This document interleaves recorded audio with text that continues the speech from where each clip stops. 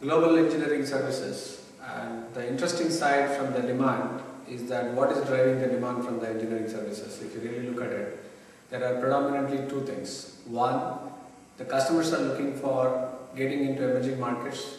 The volume growth is going to come from emerging markets and they need to look for products that meet the emerging market uh, customer requirements.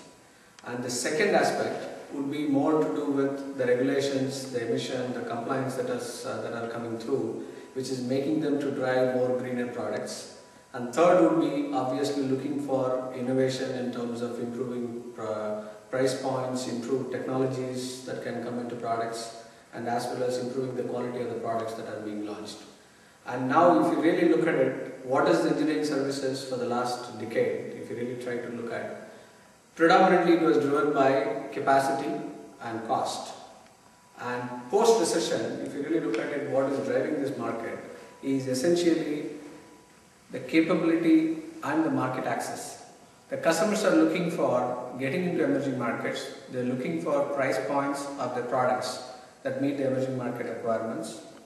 They also look for capability in the service providers. When I say capability, this is more to do with the domain expertise, this is more to do with the technology gap that exists between the west and eastern uh, countries.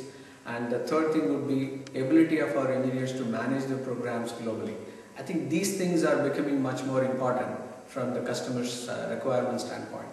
Now coming back to the supply side, if you really look at it, it is important for the service providers to look at a business model innovation because what has driven them in the last 10 years is not going to drive them for the next 5 to 10 years if you need to realize a significant potential on the engineering services. So they need to look for a different ways to deal with uh, business models. Let me explain what do we mean by the business model innovation.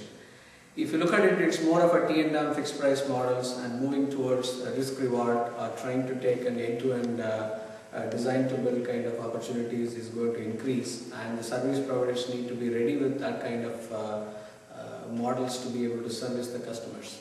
The secondary aspect is the domain or the capability gap and it can be bridged in multiple ways. It can be bridged in terms of uh, expatriating few of the domain experts into this country. It could be in India, or China and also expanding the delivery centers, not just looking at from servicing from India, but servicing from where the demand comes from. And we may have a front offices in the customer locations, we may have front offices in various locations in Europe and US and be able to service them with the customer uh, in front of the customer and having the delivery teams in the back end which may come from India China. The third element would be how do we really expand in terms of the scalability. The question that one of the analysts have asked us few uh, months back in IT and other segments, you can scale the quality of supply, you can scale the quantity of supply.